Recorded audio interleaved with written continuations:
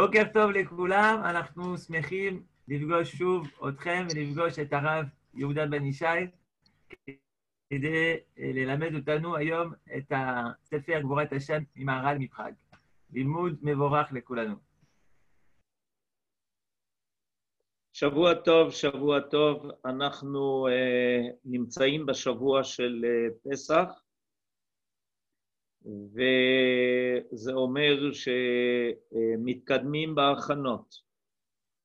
Uh, היום uh, אני רוצה לחזור לסימנים של הסדר, וכידוע, כל הנושא של יציאת מצרים הוא בעצם הכנה, הכנה גדולה מאוד לגאולה שתהיה. עד כדי כך שהיא הייתה מחלוקת בין החכמים, האם בכלל יזכרו את יציאת מצרים באחרית הימים, או שבכלל לא יזכרו, לא יזכירו את יציאת מצרים. למה? כי הניסים שיהיו באחרית הימים יהיו כל כך גדולים, שכבר לא ישימו לב לניסים, או שנאמר שיציאת מצרים תפל, וגאולה של אחרית הימים, הגאולה משעבוד מלכויות, עיקר. אה, זה אומר מה באמת הדבר הגדול שצפוי לנו. לכן חשוב מאוד שכשנגיע לליל הסדר, לחג הזה, חג הפסח, שנהיה מודעים שאנחנו כל הזמן נהיה במצב של מעבר בין מה שהיה למה שיהיה. זה דבר אה, חשוב מאוד, מי שישים לב טוב טוב בתוך ההגדה, הוא ירגיש את זה.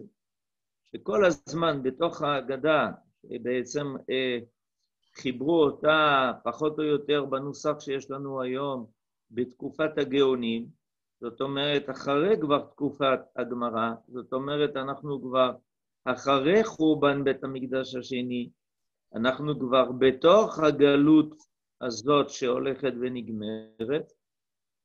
אנחנו um, נראה, נרגיש, יש כל הזמן דבר שאומר לנו, תתבוננו, תשימו לב, תבינו את מה שהיה,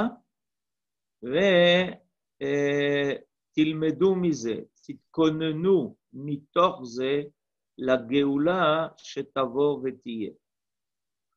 עכשיו, אה, הרמב"ם בהלכות אה, אה, מלכים, בסוף הלכות מלכים, אמר שהדבר המאוד מיוחד לגבי הגאולה האחרונה זה שלא נדע איך יהיה עד שיהיה.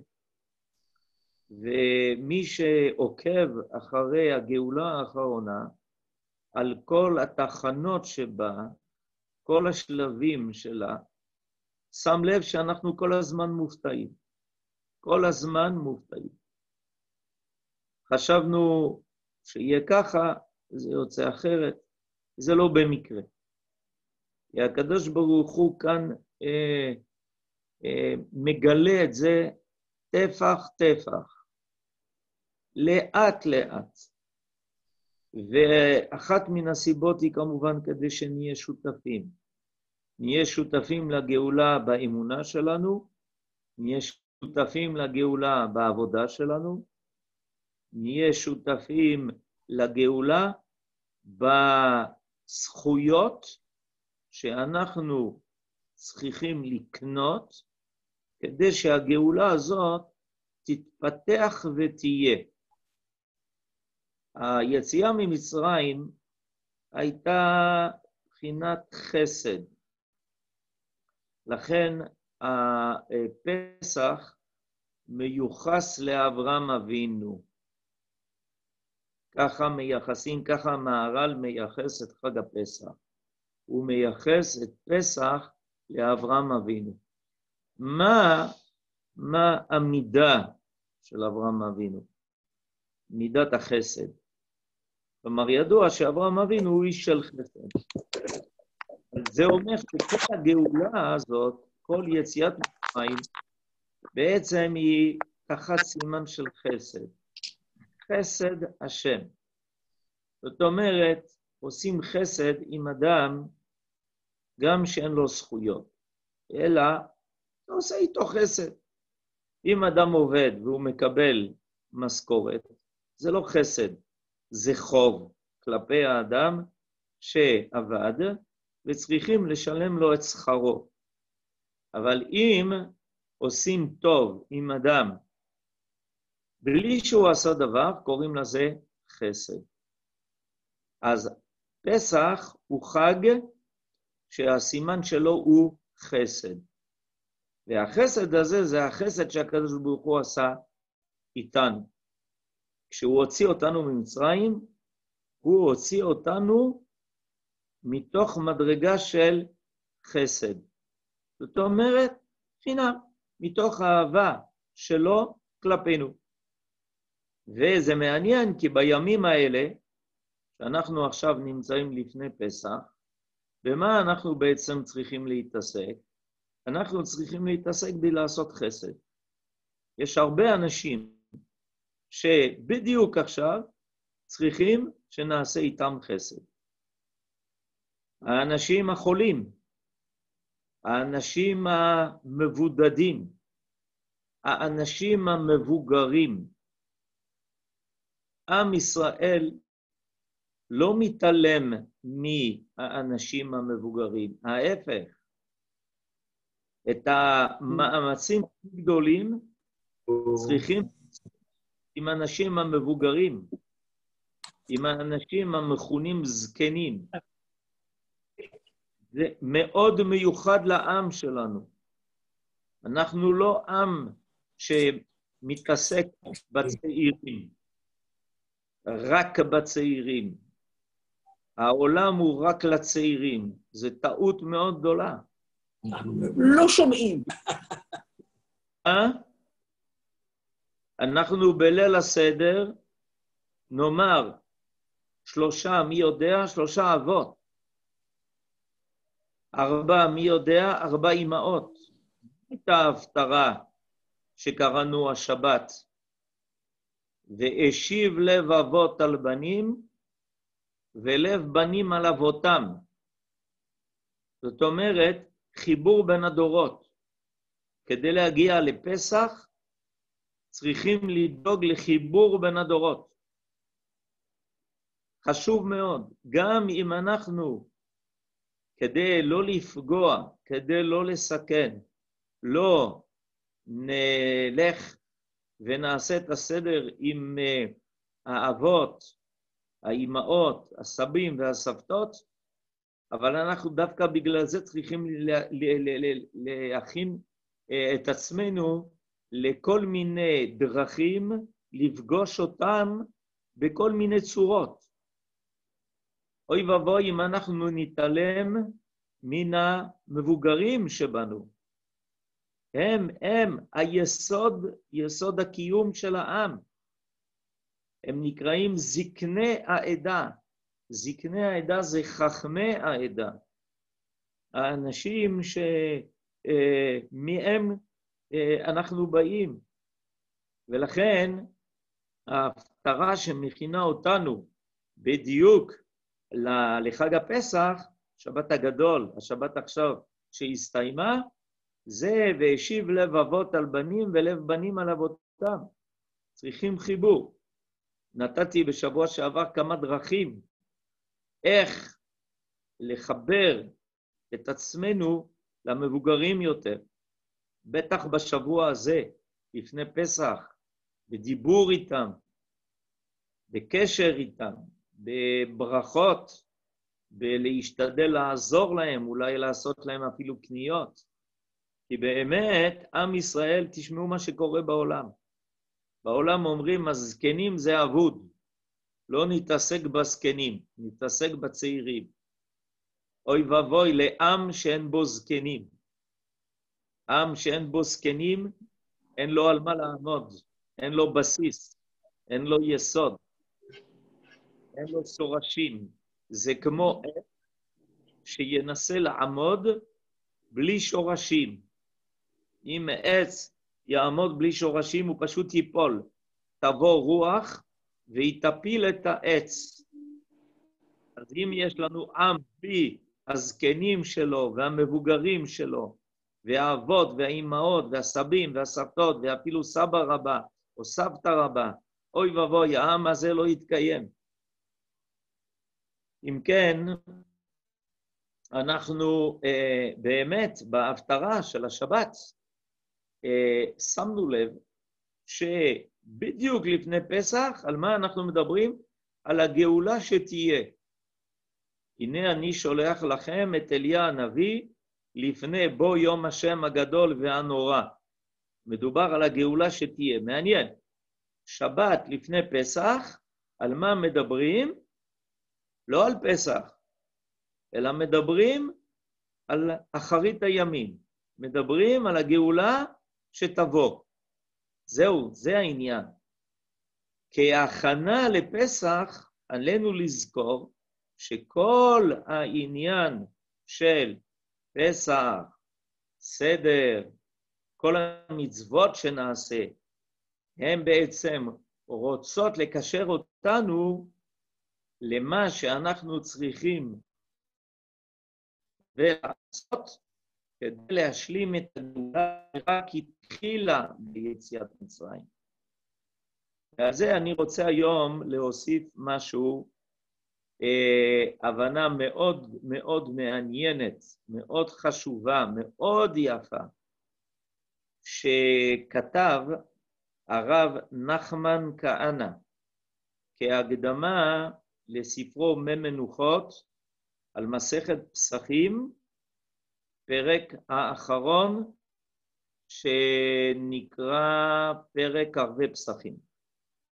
והוא מראה בעצם איך בכל אחד מן הסימנים של הסדר, שאנחנו הולכים ביום רביעי הזה בלילה להגיד ולקיים, קדש, וחץ, כרפס, יחץ, נכון? איך הוא מראה? שבכל אחד מן הסימנים של הסדר, ודווקא בסדר שחכמים קבעו, יש רמז בכל אחד מן הסימנים האלה, גאולה לא רק שהייתה, אלא גאולה שיהיה.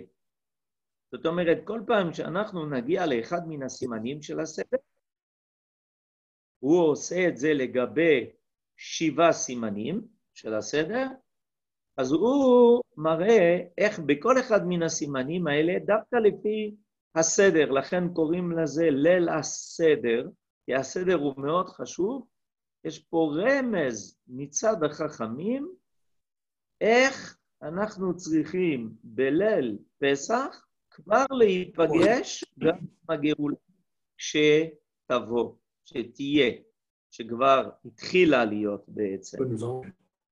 אנחנו נעבור עכשיו, על פי דרכו, סימן-סימן, סימן אחר סימן, ונראה בעצם מה הפרשנות שאפשר לקבל מכל אחד מן הסימנים האלה, לגבי גם הגאולה שהייתה, יציאת מצרים זה תחילת הגאולה, וגם לגבי הגאולה שתבוא ותשלים.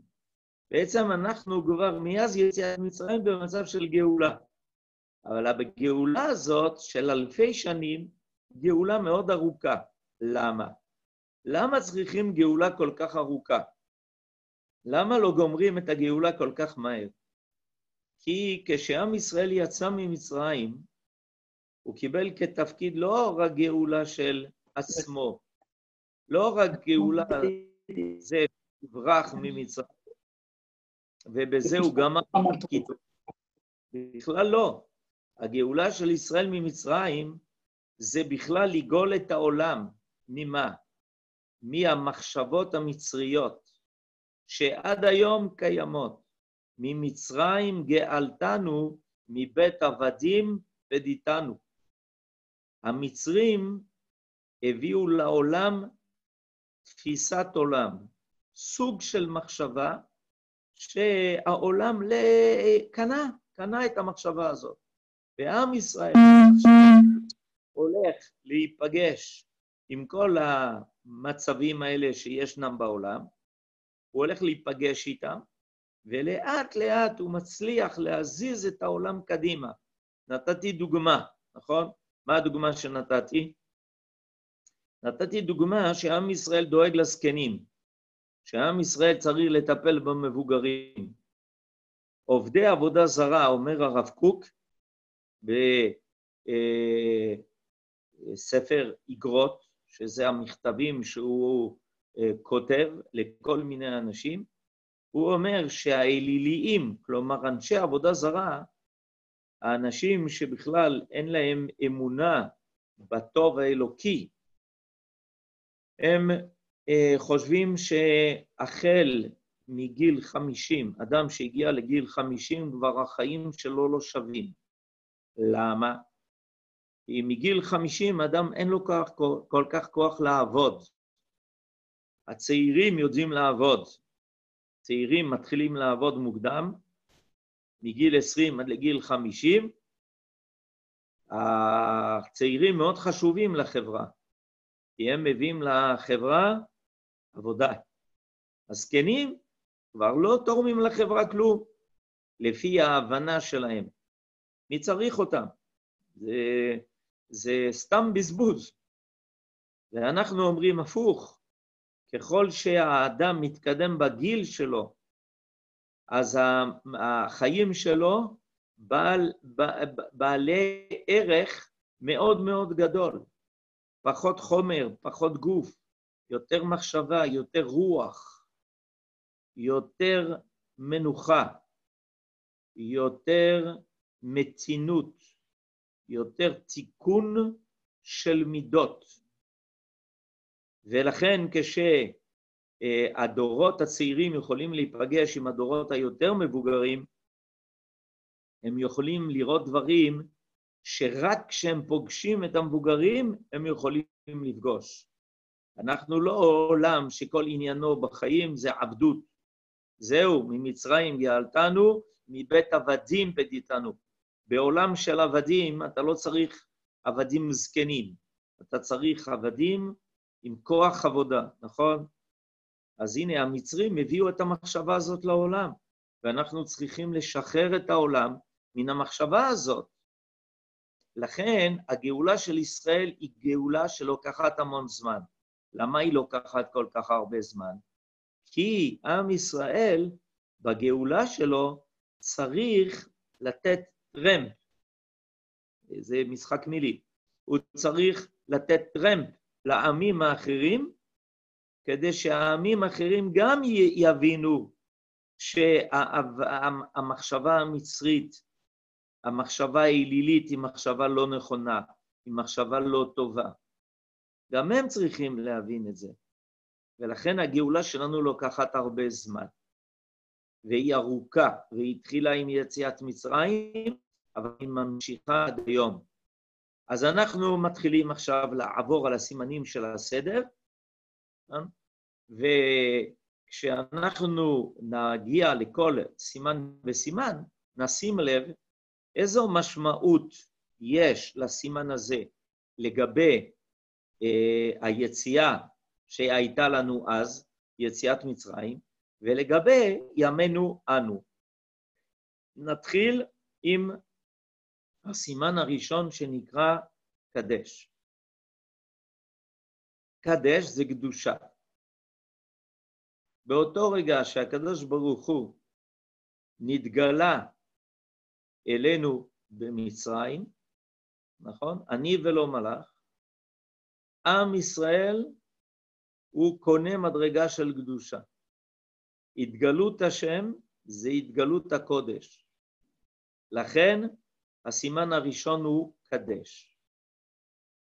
הדבר החשוב ביותר שקרה כשיצאנו ממצרים, שהבעל הבית שלנו זה לא פרעה, אלא זה הקדוש ברוך.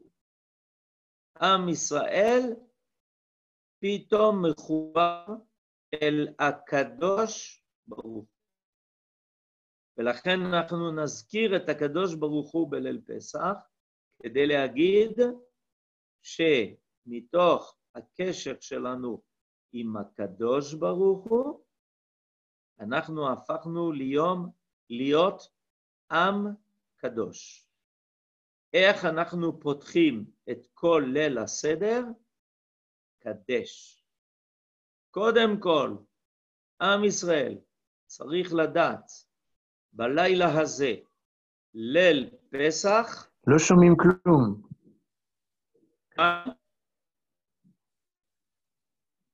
איך הוא צריך, מה הדבר הראשון שהוא צריך לשים לב אליו? שהוא עם קדוש. לכן, הסימן הראשון מהו? קדש.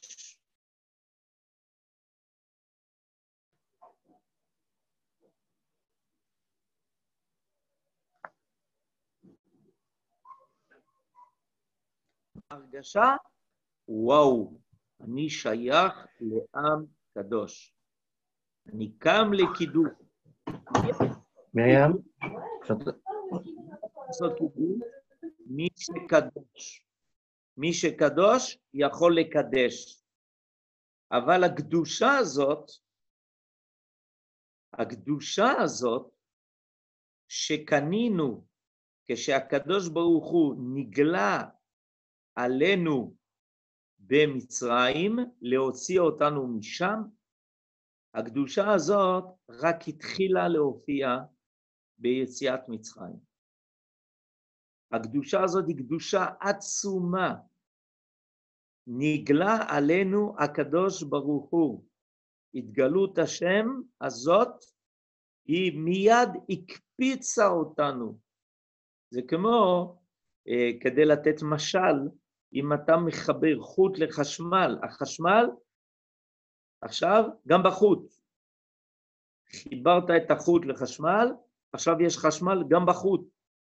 בזה שהקדוש ברוך הוא נגלה עלינו בתוך מצרים, זה מיד עשה אותנו קדושים. הקדושה הזאת, זה לא היה קדושה, לא הייתה רק קדושה בזמן אה, שיצאנו ממצרים, אלא קדושים תהיו. אנחנו מאז במדרגה של קדושים תהיו. אנחנו לא אנשים של חול, אנחנו אנשים של קודש. לכן, איך מתחילים את הסדר? קדש. את מי? קודם כל את עצמך. לפני שאתה אומר קידוש על היין, קודם כל תדע שאתה הקדש, אתה, אתה בעצמך. הקדוש ברוך הוא עשה איתנו קידוש, ולכן אנחנו עושים קידוש, וגם בחיים אנחנו עושים קידוש השם. כל זה קידוש. ההתגלות של השם עלינו במצרים, זה הייתה מדרגה של קדש. הקדוש ברוך הוא קידש אותנו, ואנחנו הופכים להיות עם קדוש, ואנחנו, בזכות זה, יש לנו גם את הכוח להגיד קידוש. יש לנו את הכוח הזה, להגיד קידוש. וכך אנחנו מתחילים את הסדר. מי קדש? אנחנו מתחילים. זה רק התחיל, כי הקדושה של עם ישראל היא תתגלה עכשיו יותר ויותר. אחר כך הקדושה של עם ישראל תתגלה בכל הדורות, בכל המלכויות, ב... ויותר ויותר. יותר ויותר הקדושה הזאת מופיעה.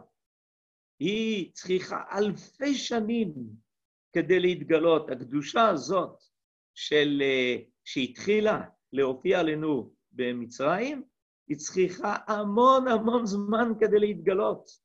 אנחנו עכשיו, ב, בימים האלה, בשנים האלה, אנחנו ממשיכים לגלות את הקדושה של הקדוש ברוך הוא. שהביא עלינו. זה מדהים, אנחנו כל הזמן בקדש, קדש, קדש. אלפי שנים אנחנו בקדש, קדש, קדש. קדש שהולך וכל הזמן מתגלה. כל לילה, אה, כשאנחנו כל פסח, כל לילה של ליל פסח, כשאנחנו אומרים קדש, אז זה עוד הופעה של קדושה. ומקדש ישראל והזמנים, נכון? מה אנחנו נברך בליל פסח? מקדש ישראל והזמנים. מקדש, מקדש, הקדוש ברוך הוא עושה עלינו קידוש. אנחנו כל הזמן במצב של מקדש ישראל והזמנים. פסח, שבועות, סוכות, מקדש ישראל והזמנים, כל הזמן. אחר כך, אחרי קדש יש אורחץ. מה זה אורחץ? אורחץ זה להתרחץ. מתי אדם מתרחץ? שהוא לא נקי, נכון? אם אדם, אדם נקי לא מתרחץ. מי מתרחץ? כשאדם הוא לא נקי, לכן הוא חץ, נכון? הוא חץ, יפה. עכשיו, למה פתאום יש לנו את הסימן של אורחץ?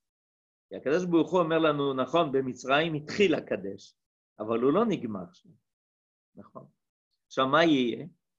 עכשיו אתם תסתובבו בכל העולם, וכשאתם תסתובבו בכל העולם, אתם תגיעו לכל מיני מקומות, ולא תמיד שם זה נקי.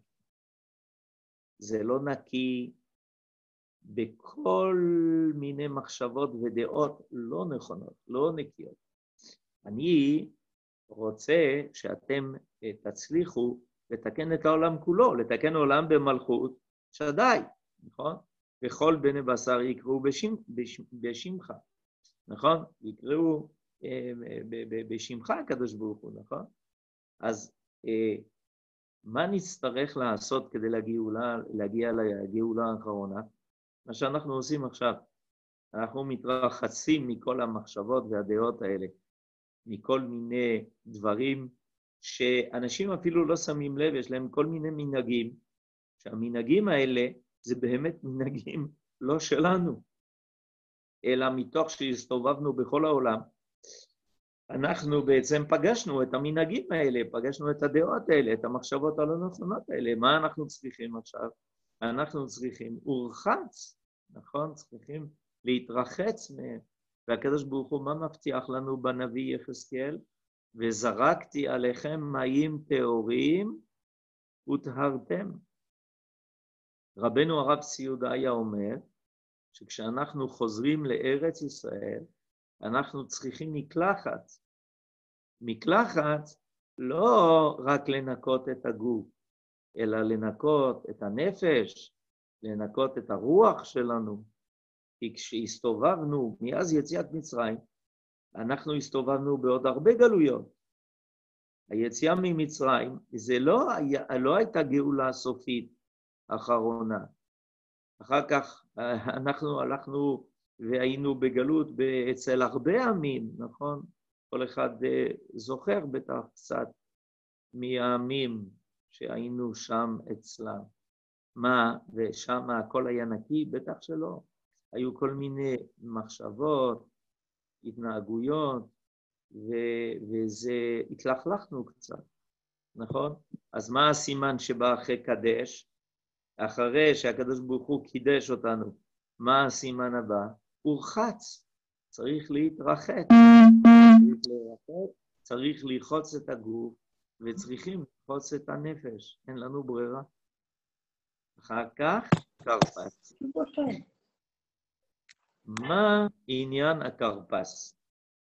כרפס, אפשר לקחת כרפס, זה סלרי, אבל יש עוד uh, כל מיני uh, ירקות. מה שמאוד uh, uh, מעניין בכל הירקות האלה שנוהגים לקחת בליל הסדר, כמו הכרפס, שגוף הירק הוא בתוך האדמה. אני לא יודע אם אתם יודעים. כשאנחנו לוקחים למשל את הכרפס, את הסלרי, נכון? אבל יש את השורש של הכרפס. למה קדש לפני אורחץ? בגלל שהקדש זה המקור. מכיוון שהנשמה שלנו היא טהורה, אז אפשר אחר כך להתרחץ מן הלכלוך. אם הנשמה לא הייתה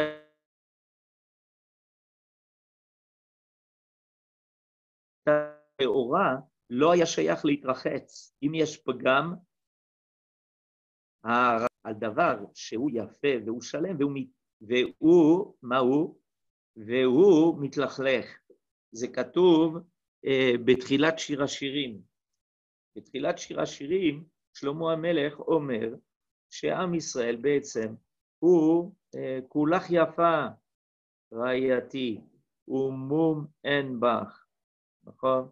ו, ומה אנחנו שומעים שם? והיפה הזאת, מה היא אומרת?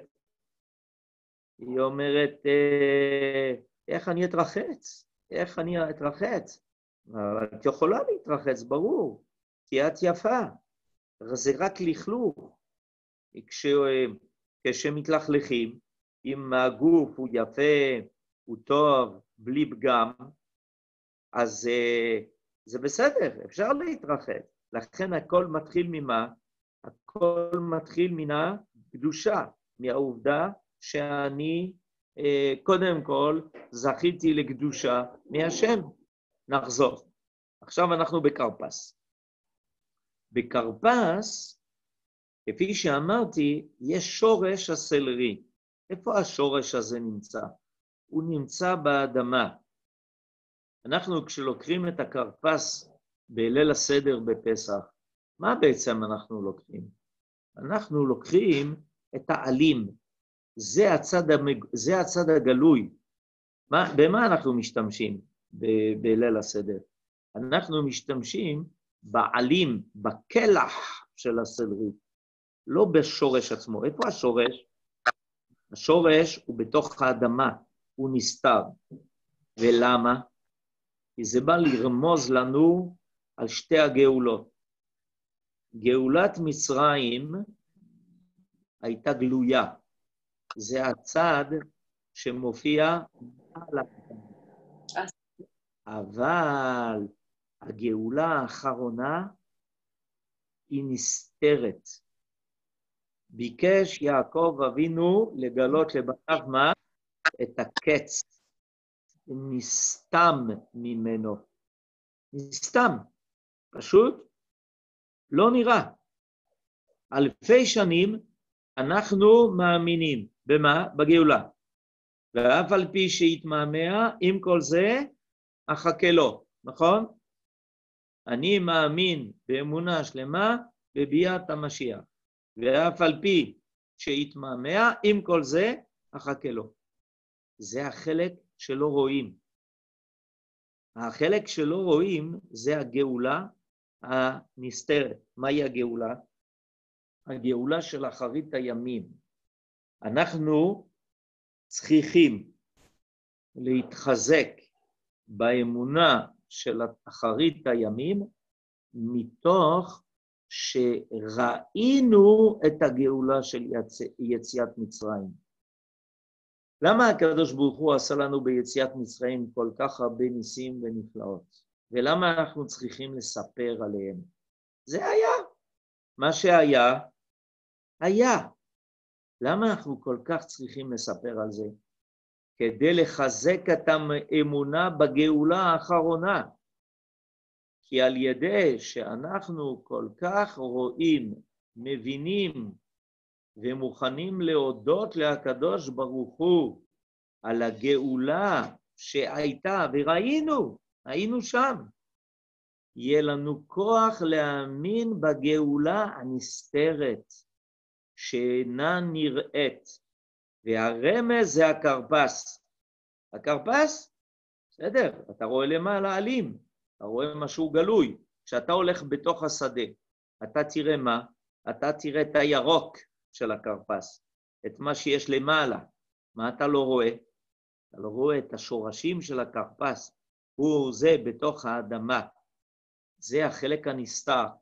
אז כשאתה רואה למעלה את העלים, מה אתה אומר? אה, יש פה, יש פה כרפס. איפה הוא? בתוך האדמה. השורש הוא בתוך האדמה. זה הדבר הבא.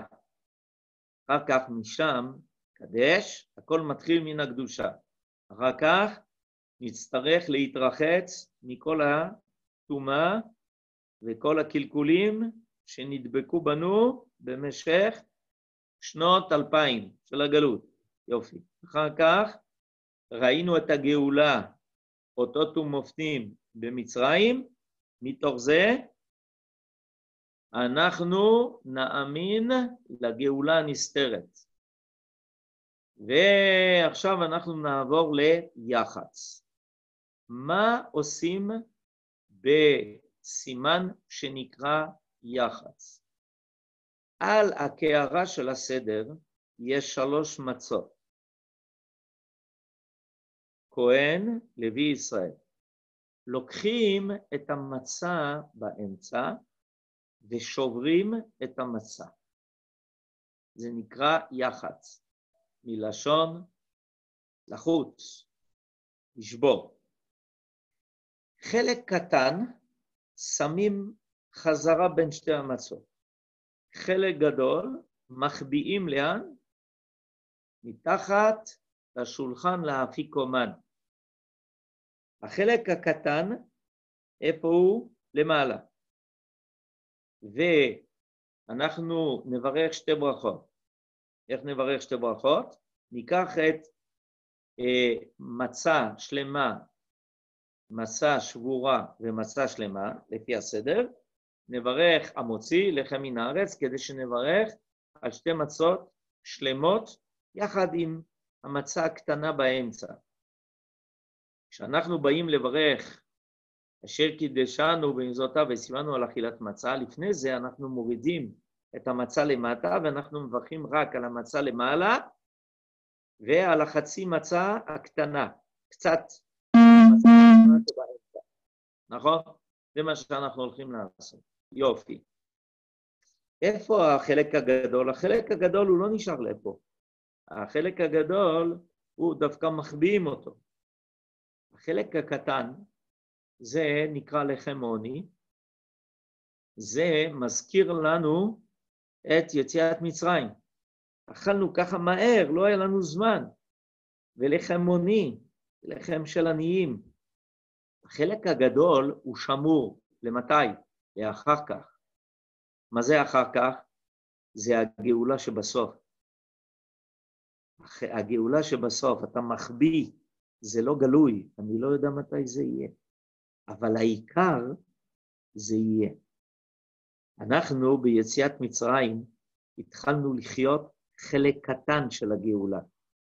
באחרית הימים נחיה את החלק הגדול של הגאולה. לכן, בין שתי המצות שמים את החלק הקטן. זה כדי לזכור את תחילת הגאולה. מתי? ביציאת מצרים. אבל בסוף ההגדה, אחרי שנאכל את הסעודה, בדיוק לפני ברכת המזון, רק רגע, לא שכחנו. נשאר לנו חלק גדול. החלק הגדול הוא נסתר, מחביאים אותו, נכון? הילדים צריכים לחפש אותו. מי זה הילדים? הדורות הבאים. מה אומרים לדורות הבאים? תדעו לנו, תדעו לכם, יצאנו ממצרים, אבל תדעו לכם, צריכים לחפש את הגאולה שתבוא, שתהיה, יהיה, יהיה לכם תפקיד. לפעמים קורה שאנשים אומרים, אוי, חבל שאני לא הייתי פעם, בזמן ככה וככה, נכון? מה אנחנו אומרים? אל תדאג, אתה תחיה דברים גדולים. אתה תחיה דברים מאוד גדולים. אנחנו צריכים להגיד לילדים, אנחנו התחלנו, כן? כל דור ודור התקדם, נכון? אבל לכם שמור החלק הגדול, זה מה שאנחנו מחביאים לאפיקומן. אחר כך, אחרי יח"צ, ואמרנו מוציא, בא המצה. זה המצווה, מצוות האכילה היחידה שיש לנו בלילה הזה, שהיא מצווה מן התורה. אין לנו קורבן פסח, אבל יש לנו מצוות אכילת מצה, נכון? זה החלק החשוב, האכילה של המצה. כשיצאנו ממצרים, אכלנו מצה כי רצינו בעצם לאכול לחם. רק לא הספיק בצקם של אבותינו לפרוח. ככה אנחנו נגיד, למה אנחנו אוכלים מצה? אנחנו רצינו להכין לחם, נכון? אז היינו בדרך להכין, מוכנים להכין לחם. ואומר הקדוש ברוך הוא, לא, לא, לא, אין זמן, מהר לצאת, לעזוב את הכל, מה, מה עם הבצק? תאכלו ככה, תעשו מצה. זאת אומרת, מה זה אומר? זה אומר שכשאדם מכין לחם, זה לוקח זמן. הוא לוקח אה, קמח, מים, מערבב, לש, הרבה זמן, נותן לבצק לעלות, נכון? וכשיצאנו ממצרים, פתאום, באמצע, מפסיקים. אומר הרב אה, נחמן כהנא דבר מדהים. והקדוש ברוך הוא רצה לרמוז לנו, לא, לא, תדעו לכם, יציאת מצרים זה לא הגאולה האחרונה, זה רק מתחיל.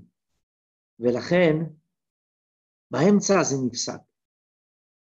באמצע הבצק לא הפך להיות לחם. כאילו הכל נעצר באמצע. חיפזון, רק התחלה. מתי מנוחה? באחרית הימים. באחרית הימים התהליך יתחיל, אבל הוא לא ייפסק. הוא לא ייפסק. זה לא כמו שביציאת מצרים, יצאנו מהר, ודברים שהתחלנו, פתאום נפסקו. לא נמשכו. לאחרית הימים, כשהגאולה האחרונה תתחיל, לא תהיה הפסקה. זו גאולה שאין אחריה גלות. זה ההבדל הגדול. ההבדל הגדול בין הגאולה שהייתה במצרים, שזאת גאולה שהייתה אחריה גלות. היא לא הייתה סופית, הגאולה הזאת. היא הביאה אותנו 40 שנה במדבר. מה זאת אומרת? יצאנו ממצרים כדי להיכנס לארץ. במקום להיכנס לארץ, אומר המהר"ל, המהר"ל, לימוד, הוא אומר, אתם יודעים מהו אסון של אה, תשעה באב? חכמים מסבירים שתשעה באב זה בגלל שבני ישראל לא נכנסו לארץ. בכו בליל תשעה באב. הקדוש ברוך הוא רצה לקחת אותם לארץ ישראל, וחזרו המרגלים וכולם בכו. אז הוא אומר ככה, דבר מדהים.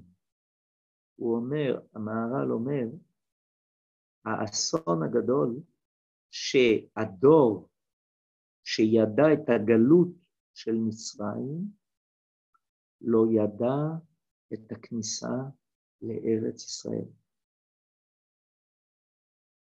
יצאו ממצרים ולא נכנסו לארץ, מתו במדבר.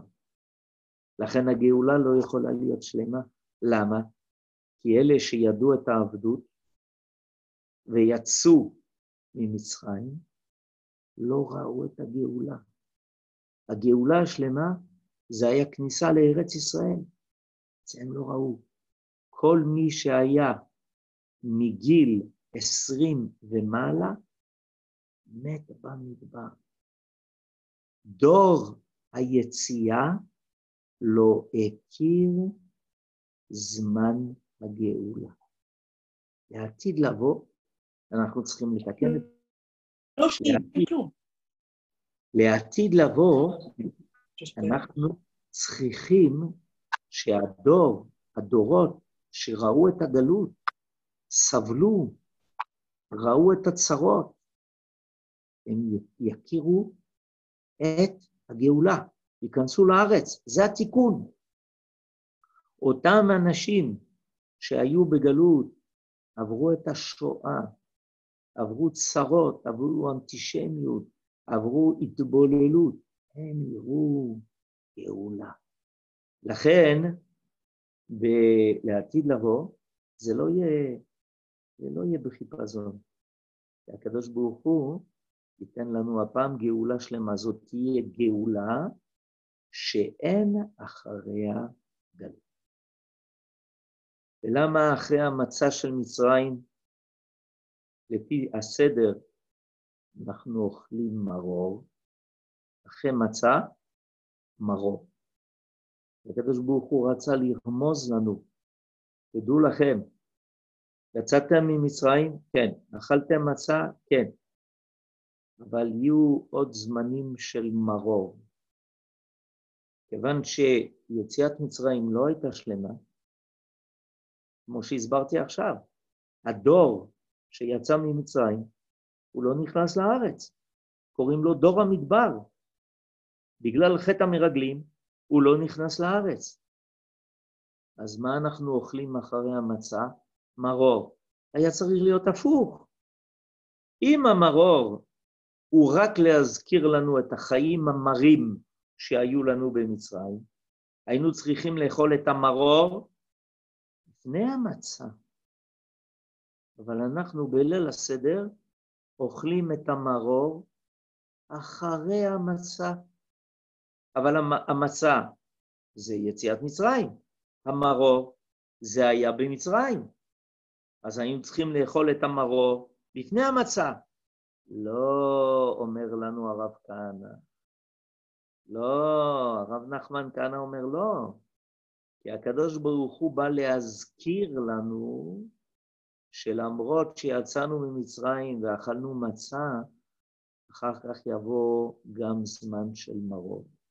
כמה מרור אכלנו במשך כל הדורות. חורבן בית ראשון, מלכות בבל, מרדכי ואסתר, מלכות פרס, אחר כך מלכות יוון, מלכות רומא, חורבן בית המקדש השני, מסעות הצלב, אינקוויזיציה, פוגרומים, גם בארצות המזרח וגם בארצות המערב, שואה, הרבה מרור אכלנו אחרי המצה. איך זה נגמר? זה נגמר בכורך. עכשיו בואו נבין את הסוד של הכורך. הסוד של הכורך הוא סוד מאוד מאוד גדול. הסוד של הכורך זה מצה למעלה, מרור באמצע ומצה למטה. התחלנו ביציאת מצרים עם מצה. אחרי יציאת מצרים, גאולת מצרים, מה היה לנו? מרור. כמו שהסברנו עכשיו, כל הדורות, כל הצרות, עשרה הרוגי מלכות, רבי עקיבא, וכל הקדושים הטהורים שמתו ונהרגו על קידוש השם, נכון. נכון? זה המרור. אבל איך זה נגמר? בסוף זה נגמר במצה. בסוף נכיר את הגאולה. אז יוצא שהכורך, הוא אומר ככה, התחלתם בגאולה, יציאת מצרים. אחר כך אתם הייתם בהרבה גלויות כדי להיפגש עם העולם, שהעולם יכיר את העם המיוחד הזה, עם של מקדשי שם שמיים ברבים. הרוב, לא היה כאן. היו תקופות מאוד מאוד קשות של מרוב. אבל אומר לנו הקדוש ברוך הוא, אני מבטיח לכם, בסוף זה נגמר בגאולה. ולכן הכורך זה חשוב מאוד. מצה למעלה מרור באמצע, ומצה בסוף. כי זה נגמר בגאולה. הנה אנחנו עכשיו למדנו ביחד איך כל הסימנים האלה של הסדר, קדש, הוחץ, קח פס, יחץ, מצה, מרור, כורך, כל הסימנים האלה, הם באו לרמוז לנו וללמד אותנו לא רק על הגאולה שהייתה ביציאת מצרים, אלא למען תזכור את יום צאתך מארץ מצרים כל ימי חייך. ימי, ימי חייך, העולם הזה, כל ימי חייך, להביא לימות המשיח. זאת אומרת, שבאותו ליל פסח, בעזרת השם, בעוד ארבעה ימים, אנחנו עושים סדר. בעזרת השם, על ידי שאנחנו נקיים את כל הסימנים של הסדר, בכל סימן וסימן בגלוי, אנחנו מדברים על יציאת מצרים, זה הצד הגלוי, זה הצד שכולם מכירים, אבל נביא על ידי זה לתוך הסדר שלנו כבר את כל הסימנים של הגאולה, בעזרת השם שתהיה. ולכן נזכור, כל פעם שאנחנו עושים סימן, יש בו גם להזכיר בו את יציאת מצרים שהייתה, וגם בעזרת השם להזכיר לנו, או לעורר אותנו עכשיו, בשנה הזאת, בימים האלה, דווקא לגאולה שצריכה עכשיו להסתיים. הקדוש ברוך הוא, בעזרת השם, הבטיח כבר לאברהם אבינו, שכמו שיצאו ממצרים, בעזרת השם, לעתיד לבוא, יצאו מכל הגלויות. אנחנו באמת מתפללים שאכן זה יתקיים כבר בימינו אנו. אמן, כן יהי רצון. שבוע טוב, פסח יותר שמח לכולם, בעזרת השם, וניפגש בשמחה, בבריאות ובברכה. יש כמה שאלות תודה רבה. על השיעור. בבקשה, בבקשה, כל טוב. תודה רב, שבוע טוב. שבוע טוב. תודה. להתראות, שלום, מחר בעזרת השם, מי שרוצה באותה שעה. בעזרת השם. תודה רבה, שבוע טוב. שוב, שבוע טוב, שלום, שלום. תודה רבה, שבוע שבוע טוב. שבוע טוב. שבוע טוב לכולם. שבוע טוב לכולם גם.